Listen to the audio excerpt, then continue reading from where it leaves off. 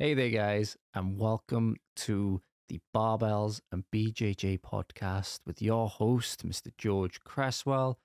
And today we're coming to you with the new setup. And boy, am I loving it.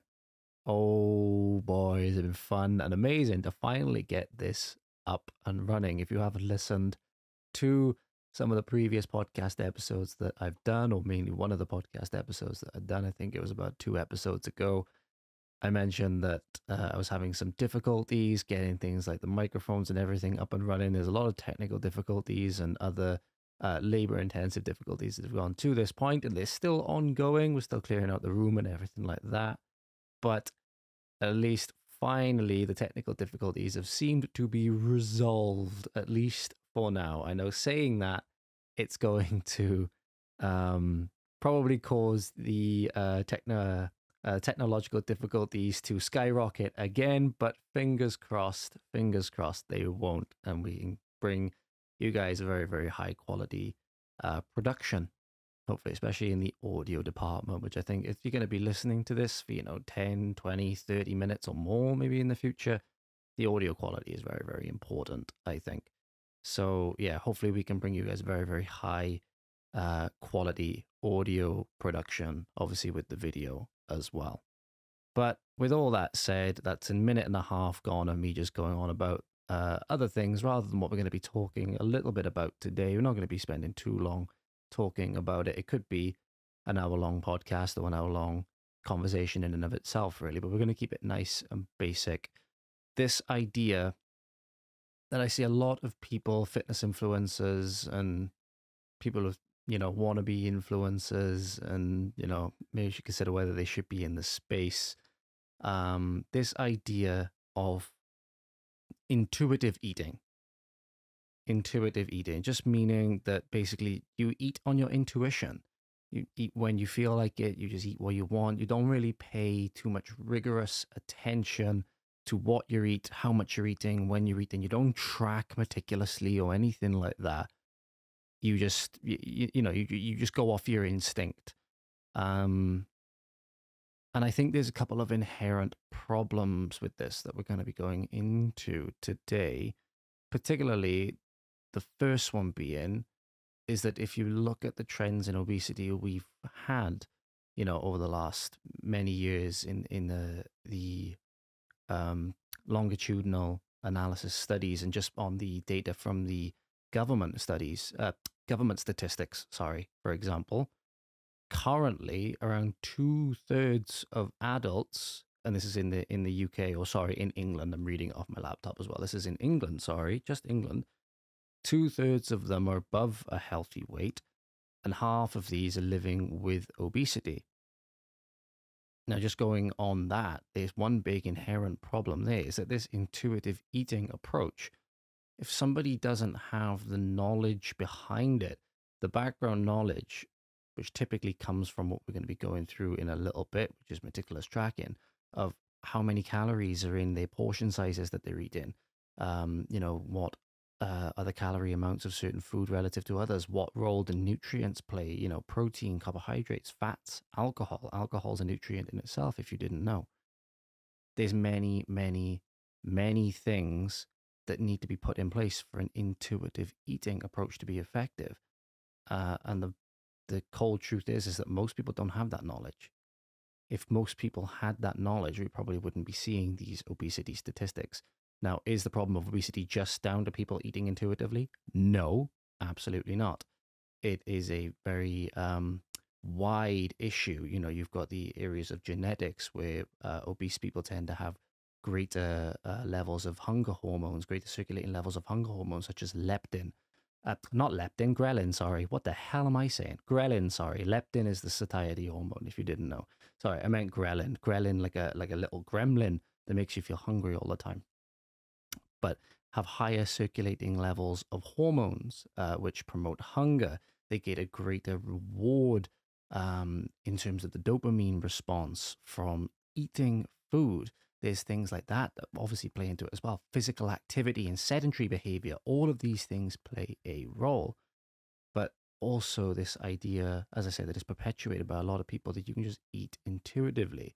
And for the vast majority of people, this isn't going to be an approach that works because if you think about it, it's the approach that has gotten them to this point in the first place.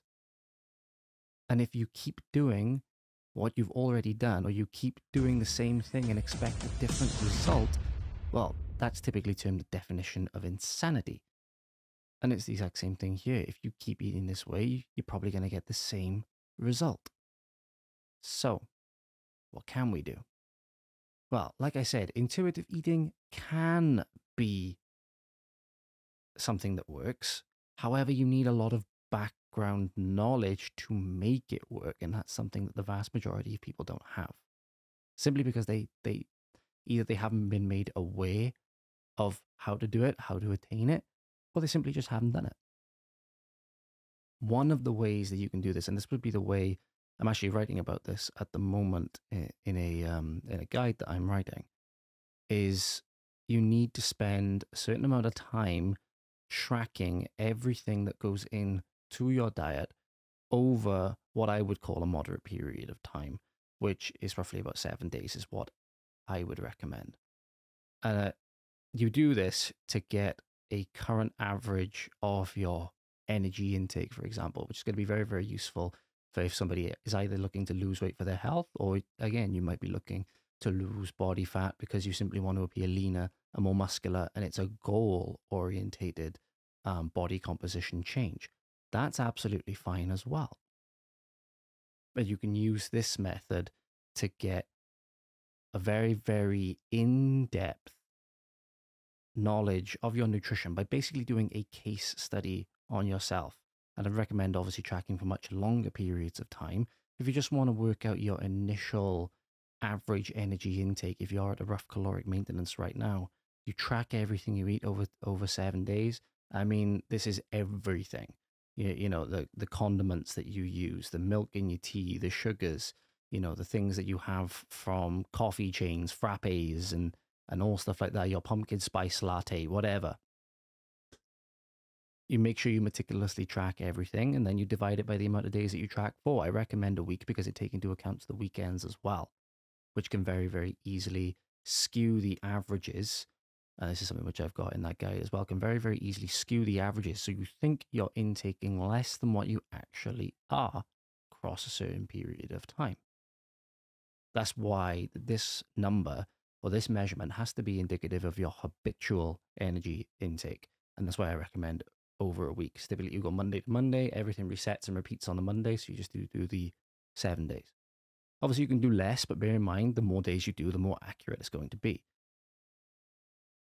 But again, people that don't have this knowledge and can just look at a plate of food and be like, okay, there's X amount of protein in there, there's X amount of calories because there looks like there's approximately this amount of potato, there's these veggies. Oh, they, they didn't cut the, the, they didn't trim the fat off the steak, so maybe that's going to add this amount. Unless you can do these calculations in your head, unless you're John von Neumann who can, you know, multiply 10 digit numbers in his head, then maybe your estimation isn't going to be that accurate of an estimation. And that's a problem. And there's many, many studies that show that underreporting energy intake is a, is a serious problem. Even when you, even when you track, even when you track people underreport calories, sometimes as high as twenty percent. But it's going to be better once you have a good idea of what is in your food, how many calories you're intaking on a daily basis through this meticulous and rigorous tracking process, then you can more accurately use this intuitive eating approach. Because in order for intuitive eating to work, you need to have good habits. And what obesity trends are showing us is that most people don't have good habits. Again, it's a very, very multifaceted issue, but this is one of them. And this is one of them that people have control over, which is very, very important. You need to focus on things that you can control, not things that you can't. So, yeah, that's one of my big gripes when I see this being promoted just to the average person. Again, I think it comes from this thing which I've been guilty of um, to a certain extent is this thing where it's called an expertise bias. I was made aware of this by one of my very, very good friends. uh, who I look up to as a mentor. And it's this, uh, this phenomenon of expertise bias where we can easily think that everybody else is on the same level of knowledge and experience that we are. And that you may be at the point where you can use an intuitive approach because you've built up these good habits and you have this greater knowledge base to make it work. But that doesn't mean that your followers are going to have that. Doesn't mean that the average person who's sitting at about 35% body fat knows the, you know, the nutrient values of food, knows that carbohydrates are four, uh, four calories per gram, protein has four calories per gram, and that the TEF values or the TEF percent, the thermic effect of food percent, is different between these two nutrients. And you see the point? Most people aren't going to know that. And so this approach probably isn't going to work for most people. If you think about it, for most people, it's going to be the thing that got them to this problem in the first place. So we need to think of other things that we can do. And as I said, tracking, I think, is a very, very important one. Tracking accurately a weighed food diary. Is it perfect? No. But in my opinion, it's one of the best things that you can do. Meticulously track initially for that seven day period, but then you track over long periods of time. You keep tracking because you want to build it up as a habit. You want to keep building up this knowledge of what you're intaking on a daily basis in terms of your energy intake over long periods of time. You have to do that in order for your estimations to then become in any way accurate. So, yeah, that's my little gripe with intuitive eating, guys. If you found it useful, again, please leave your thoughts uh, down below in the Q&A down below or again on my social medias and anything like that. Please do. I'm always open to feedback. Hope you found it useful. I hope you enjoyed. I hope you have a great day. I hope you go and train hard. And I will catch you soon. Out.